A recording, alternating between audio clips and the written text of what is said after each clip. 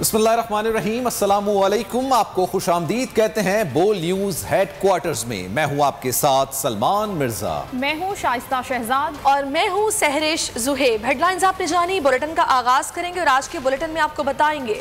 सबसे पहले बात करेंगे, तहरीक अदम एतमाद कामयाब हो जाए तो शहबाज शरीफ को वज़ीर आज़म बना दिया जाए। जरदारी की पेशकश पर जे यू आई और नून लीग ने इस बात पर इतफाक कर लिया है। मॉडल टाउन की मीटिंग में सबसे पहले वज़ीर आज़म के खिलाफ तहरीकी अदम एतमाद लाने का फैसला हुआ है लेकिन तारीख तय नहीं हुई। हुकूमती इतिहादियों को मनाने का टास्क आसिफ अली जरदारी के सपुर्द कर दिया गया। एलामिया के मुताबिक कायदीन ने तफसीली मुशावरत के बाद अपोजिशन की तमाम जमातों पर मुश्तमिल कमेटी तश्कील दी है, जो सियासी और कानूनी हमत अमली और तहरीकी अदम एतमाद पेश करने के वक्त का तयन करेगी। हुकूमत को हटाने का मिशन, अपोजिशन के बड़ों की एक और बैठक, आसिफ जरदारी लाहौर में शहबाज शरीफ के घर पहुँचे, जहाँ मौलाना फजल रहमान पहले ऐसी मौजूद थे। नून लीग के कायद नवाज़ शरीफ वीडियो लिंक ऐसी सियासी दस्तखान का हिस्सा बने। आसिफ जरदारी ने पेशकश की कि तहरीक अदम एतमाद कामयाब होने की सूरत में शहबाज शरीफ को वज़ीर अजम बनाया जाना चाहिए, जिस पर बाकी तीनों रहनुमाओं ने हामी भर ली। फिर तजवीज आई कि वज़ीर अला पंजाब और स्पीकर कौमी असम्बली से पहले वज़ीर अजम के खिलाफ तहरीक अदम एतमाद लाई जाएगी, इस पर भी सबने इतफाक कर लिया। हमत अमली तय हुई कि हुकूमती इतिहादियों को आसिफ जरदारी मनाएँगे। तहरीक अदम एतमाद पेश करने का टास्क भी आसिफ जरदारी को सौंप दिया गया। इतफाक हुआ कि तहरीक अदम एतमाद अचानक लाई जाएगी आसिफ जरदारी इतिहादियों से रबते में पेशरफ से। फजल रहमान और नवाज़ शरीफ को आगाह रखेंगे, जैसे ही मामला साजगार होंगे। तहरीक अदम एतमाद की तारीख तय कर ली जाएगी। इजलास में नंबर गेम पर भी ब्रीफिंग दी गई, जिस पर चारों रहनुमाओं ने इत्मीनान का इजहार किया। आसिफ जरदारी ने काफ लीग और बी ए पी ऐसी होने वाले रबतों ऐसी मुतालिक भी आगाह किया। हुकूमती इतिहाद में चाइना कटिंग की कोशिशें, मौलाना फजल रहमान भी हिमायत हासिल करने, चौधरी बरदरान के घर जा पहुँचे। सियासी सूरत हाल और तहरीक अदम अतमाद पर बातचीत हुई।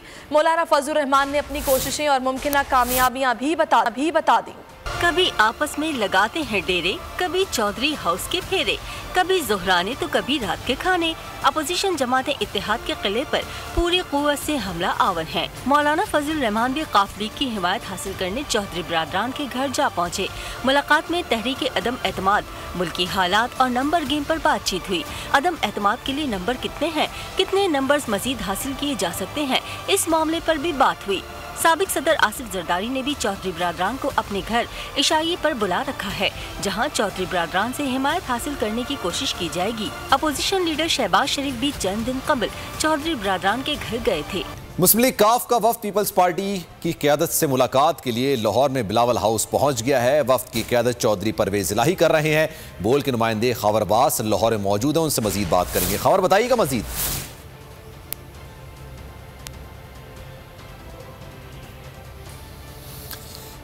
आपको बताएँ कि वफ्त की क्यादत चौधरी परवेज इलाही कर रहे हैं काफली का वफ्त लाहौर में बिलावल हाउस पहुँच चुका है और सियासी माहौल काफ़ी ज़्यादा इस वक्त गर्म नज़र आ रहा है। हर तरफ़ मुलाकातों का सीज़न है और अदम अतमाद की बातें की जा रही हैं और इस अदम अतमाद के लिए लोगों की मुलाकातों का सिलसिला शुरू हो गया है। सियासी पार्टियों को अपनी तरफ़ लाने के लिए अपोजिशन जमातें हुकूमती इतिहादियों से मुजाकर कर रही हैं, मुलाकात कर रही हैं और काफली का वक्त इस वक्त बिलावल हाउस लाहौर पहुँचा है, जहाँ पर वो सबक सदर आसिफ अली जरदारी से मुलाकात करेगा। काफ लीग के वफ्त की क्यादत चौधरी परवेज इलाही कर रहे हैं। ये मनाजिर भी अपने टीवी स्क्रीन पर आप देख सकते हैं, ये उस वक्त के मनाजिर हैं जब काफ लीग का वफ्द बिलावल हाउस पहुँचा था और तहरीक अदम अतमाद जिस पर अपोजिशन ये बात कर रही है कि तमाम जमातों को यकजा किया जाएगा, ना सिर्फ़ अपोजिशन की जमातों को, बल्कि हुकूमत के इतिहादियों को भी अपनी तरफ़ लाने के लिए मुलाकातें की जाएँगी। इन्हीं मुलाकातों का सिलसिला अब शुरू हो चुका है।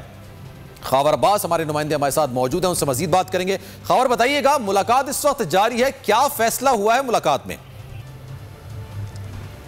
देखिए, लाहौर में जो है सियासी पारा अरूज पर है और मुलाकातों का सिलसिला जारी है। इस सारा दिन जो है वो शहबाज शरीफ साहब के घर पर जो है अपोजिशन के बड़ों की बैठक जारी रही, जिसके बाद उसके बाद मौलाना फजल रहमान जो है उस बैठक के हवाले से तमाम ब्रीफिंग देने के लिए हुकूमती इतिहादी चौधरी परवेज़ अलाही के घर पर उनसे मुलाकात करने के लिए गए और उन्हें अपोजिशन के फैसलों से आगाह और उनसे अपना जराये का कहना है कि साथ चलने के लिए भी उन्हें दावत दी और उसके बाद जो है वो जो इस गेम के इस वक्त खिलाड़ी बड़े दिखाई दे रहे हैं, आसिफ अली जरदारी साहब, उनकी जानब से जो है हुकूमती इतिहादी चौधरी परवेज अलाई साहब को जो है वो इशाइये की दावत दी गई थी। इस वक्त काफ लीग का वफद चौधरी परवेज अलाई चौधरी सालेक चौधरी शाफे और वफाकी वज़ीर तारिक बशीर चीमा के साथ जो है इस वक्त बिलावल हाउस पर पहुँच चुका है। अंदर मुलाकात का सिलसिला जारी है। सबक सदर असफ जरदारी असफ जरदारी ने वफद का इस्तकबाल किया और जराए ने यह दावा किया है कि सबक सदर जो है आसिफ अली जरदारी वो काफ लीग के वफद को अपोजिशन की अमली के बारे में आगाह करेंगे और हुकूमत के खिलाफ जो अपोजिशन तरीके अदम अतमाद समेत मुख्तलिफ़ ऑप्शन पर गौर कर रही है। उसके हवाले से ये जो हुकूमती इतिहादी हैं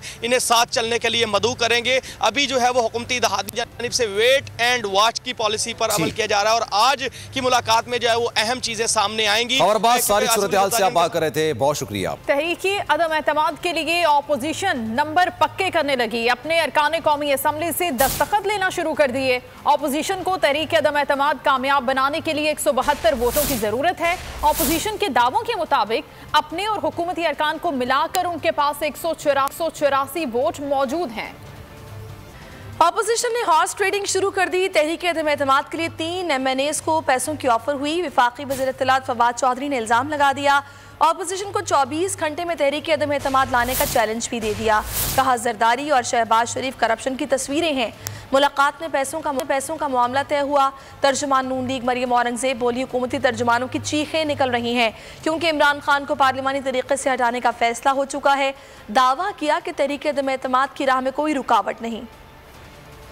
ये हॉर्स ट्रेडिंग का बड़ी मुश्किल से पाकिस्तान में खात्मा होने की एक उम्मीद पैदा हुई थी, लेकिन ये दोनों जमातें मिल के उसको दोबारा वापस लाना चाहती हैं। पिछले एक हफ़्ते से जब से तहरीक अदम अतमाद पर अपोजिशन की मुशावरत शुरू हुई है पा दोपहर शाम इमरान खान साहब और कराए के तर्जुमानों की सिर्फ़ रोना और चीखें सुनाई दे रही हैं। हमारे तीन एम एन एज ने रिपोर्ट किया है कि उनको पैसे ऑफ़र किए गए हैं अदम अतमाद के लिए। अगर आपने कहना हो कि करप्शन को तस्वीरों में दिखाएँ तो आप इन दोनों की तस्वीरें लगाते हैं। बैंक में ये खतूत लिखे गए। कि शबाज शरीफ के और शरीफ फैमिली के वहाँ अकाउंट्स को चेक किया जाए। उधर इन्वेस्टिगेशन हुई। मिडिल ईस्ट के अंदर इन्वेस्टिगेशन हुई लंदन में इन्वेस्टिगेशन हुई और एक धेले की करप्शन नहीं गुजरा खुद इमरान खान से तंग है। तहरीक अदम अतमाद को तो से ज़्यादा पजीराई मिल रही है। नून लीग रहनुमा एहसन इकबाल ने दावा कर दिया।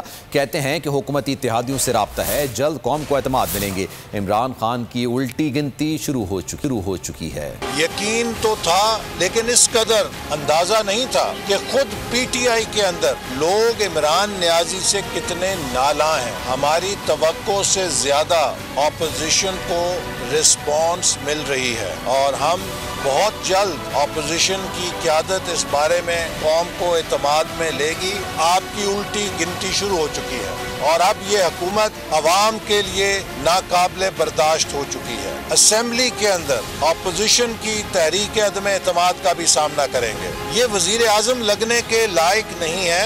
इनको किसी नफसियाती डॉक्टर से इलाज की ज़रूरत है। तहरीकी अदम अतमाद लानी है तो ले आओ। हम सोए हुए नहीं, हर चीज़ के लिए तैयार हैं। परवेज खटक ने हिजब इख्तलाफ को चैलेंज दे दिया। साथ ही ये भी कहा कि जो हुकूमती मेंबर वज़ीर आज़म के खिलाफ वोट डालेगा, वो ना अहल हो जाएगा। जब मेंबर ना अहल होगा तो ये एतमाद का वोट नहीं ले सकेंगे। इल्ज़ाम लगाया कि opposition horse trading horse trading कर रही है। दावा किया कि तहरीक अदम एतमाद भी नाकाम हो जाएगी। ये सिर्फ़ एक ड्रामा है। वज़ीर ममलिकत फ़ारूक हबीब कहते हैं, शहबाज शरीफ और जरदारी करप्शन के बड़े साइंसदान हैं।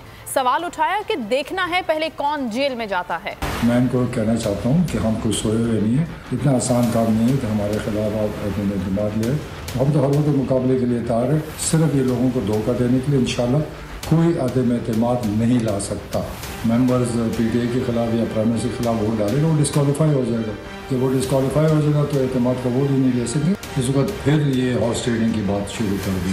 नवाज़ शरीफ तो हॉर्स ट्रेडिंग की पैदावार है। ये इतने बड़े करप्शन के साइंसदान हैं कि इन्होंने जो है वो अपने दस दस हज़ार रुपये के जो मुलाजमीन इनके पास काम करते थे, उनके अकाउंट्स के अंदर जो है वो चार चार अरब रुपया जो आ जाता है, उसका इनको जवाब देना पड़ेगा। सवाल है, वो सवाल ये है कि पहले जो है वो पापड़ वाले, फलूदे वाले, आसिफ अली जरदारी ने अंदर जाना है, या शहबाज शरीफ ने पहले अंदर जाना है। इनकी डे टू डे हेयरिंग होनी चाहिए और ये लाइव मीडिया के सामने आनी चाहिए।